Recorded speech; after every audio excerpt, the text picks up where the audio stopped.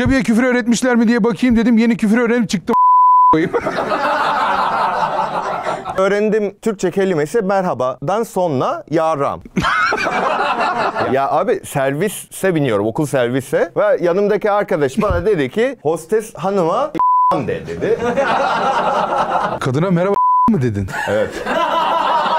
Şu an mesela Türkçe'de şimdi herkes bir küfür eder eder ama böyle insanın kendine has bir küfrü vardır. Benimsediğin ve özümsediğin birçok küfürlerden böyle damıttığın sana ait küfür var mı? Abi ben belanı sikimi çok seviyorum. o kelimenin ironiliğini seviyorum. Hani kızıyor musun aslında iyi bir şey mi sonuçta? Bela ya. Bela kötü bir şey. Negatif. Senin iyiliğini istiyorum yani. Seni belalardan Aynen. korumak istiyorum.